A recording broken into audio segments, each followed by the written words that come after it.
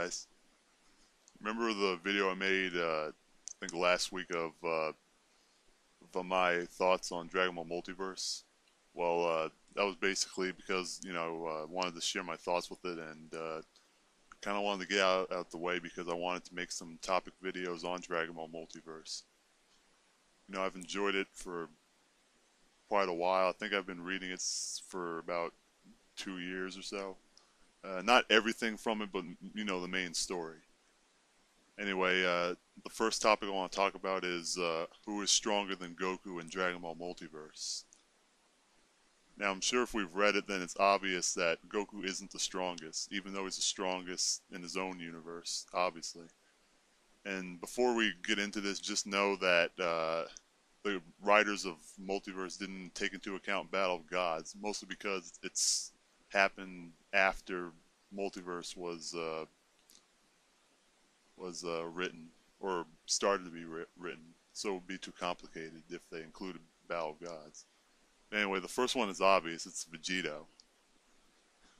Firstly, it's obvious because it's pretty much the same time period, or the same amount of time passes, like 10 years after Z. And since Vegito is half Goku anyway, it would make quite a bit of sense if Vegito were stronger than Goku. So to me, that one's kind of obvious.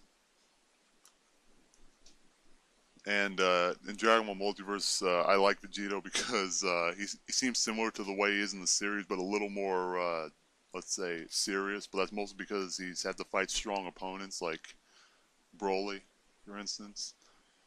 And in Dragon Ball Multiverse, he's shown to not only be Super Vegito, but he's also able to be Super Saiyan 2 and, believe it or not, even Super Saiyan 3. And uh, obviously, it's the first time we've seen him uh, turn to Super Saiyan 3, but that's mostly because he hasn't been challenged that much yet. Keep in mind, the only time we saw him in the manga was uh, when he fought uh, Majin Buu, when he absorbed Gohan.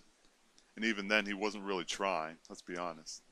Now, the second one that I think's the stronger than Goku is Bra. And this one's also kind of obvious because, one, she was trained by Vegito which would make her pretty strong in and of itself. And two, she's the daughter of Vegito and uh, Bulma.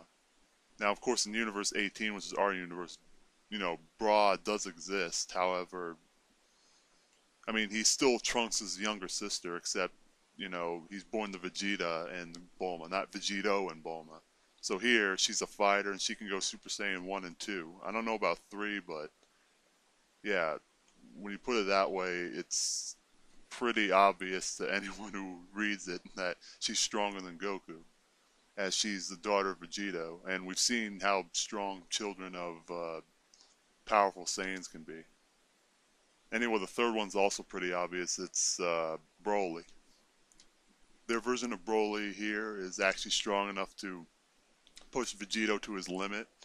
In fact, he was so powerful that Broly actually uh, forced Vegito not only to become a Super Saiyan 3, but also to use a technique called Final, no, dr Final Dragon uh, Flash or something like that. It's basically a combination of uh, Final Flash and uh, Dragon Fist, and uh, it looks pretty badass. So, so uh, yeah, that's Broly, and uh, believe it or not, there's also another one who I would suspect is stronger than Goku, and that's Gast Cargoth.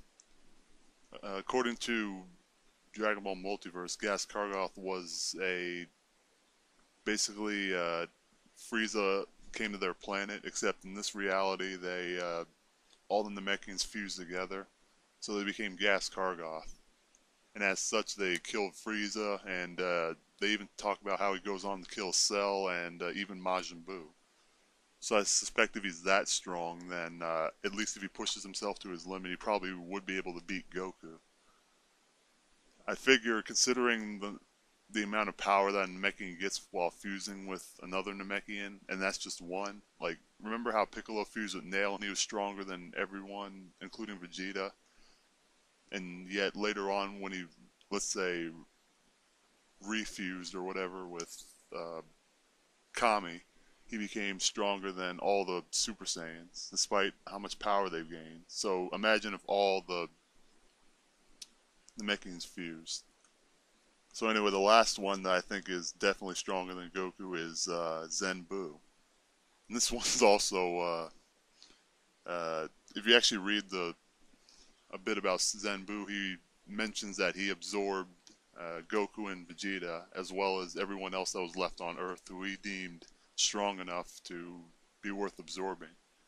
So because of this, uh, because he absorbed not only Goku and Vegeta, but he also absorbed Gohan, he absorbed well, I, well, I guess he would keep Gohan as a as a, one of his absorbees, but he absorbed any what he thought powerful being in his universe, so he would have gotten a lot stronger. So he doesn't really even need to train; he's just that powerful. Many even suspect that Zen Buu is the strongest at the tournament period. So uh, anyway, that's the people who I think are stronger than uh, Goku in this tournament. So if he were to go up against him, don't be surprised if Goku were to lose. Anyway, uh, it's been my video, so uh, see you guys next week.